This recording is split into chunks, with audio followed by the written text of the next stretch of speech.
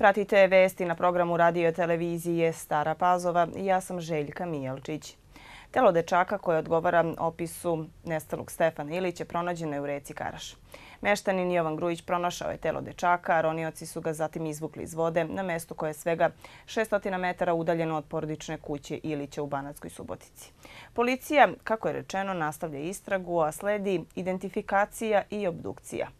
12-godišnji Stefan je u subotu nestao u Banatskoj Subotici, a policija je odmah po prijavi počela sa opsežnom pretragom tog, ali i okolnih mesta. Dragan Đurić danas je osuđen na kaznu zatvora od 40 godina za pokušaj silovanja i ubistvo Tijane Jurić. Đurić je proglašen krivim i osuđen na jedinstvenu kaznu zatvora u kojoj će mu biti uračunato vreme provedeno u pritvoru. Sudsko veće kojim je predsedavala sudija Gordana Kojić jednoglasno je odlučilo da je Đurić smanjen u računlji, ali ne u bitnoj meri i da je kriv za pokušaj silovanja i za teško ubistvo.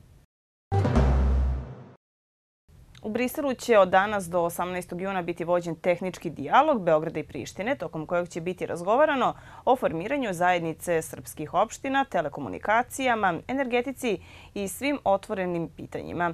Direktor Kancelarije za saradnju sa medijima Milivoje Mihajlović kaže da očekuje pomake i kada su u pitanju ostale teme, navodeći da je krajnje vreme da Evropska unija konačno postavi stvari na svoje mesto i zatraži od Prištine da ispuni ono što je do nje.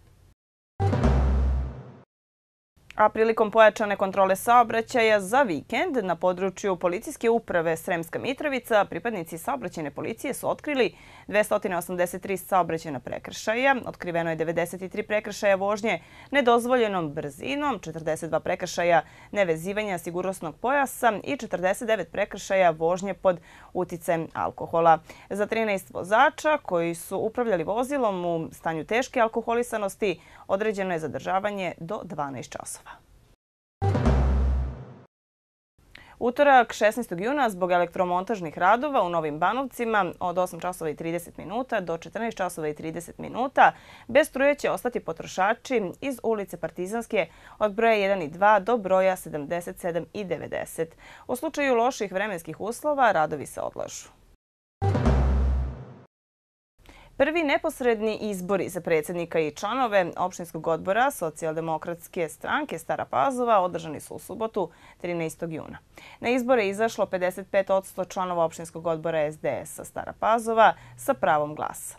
Za predsjednika opštinskog odbora socijaldemokratske stranke Stara Pazova izabran je Goran Jović koji je dobio 100 od 100 glasova izašlih birača.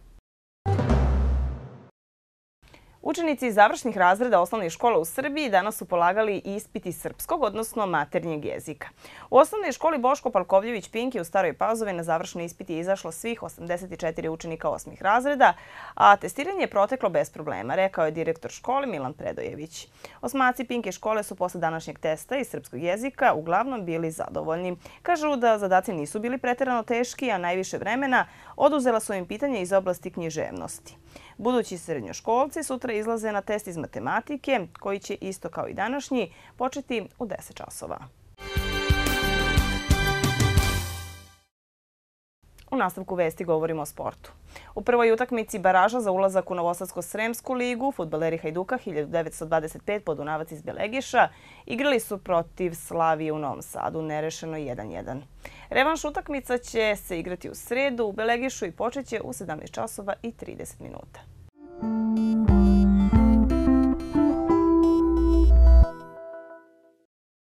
Vreme sutra pretežno sunčano i svežije. Sredinom dana se uz promenjivu oblačnost očekuje pojava lokalnih pljuskova.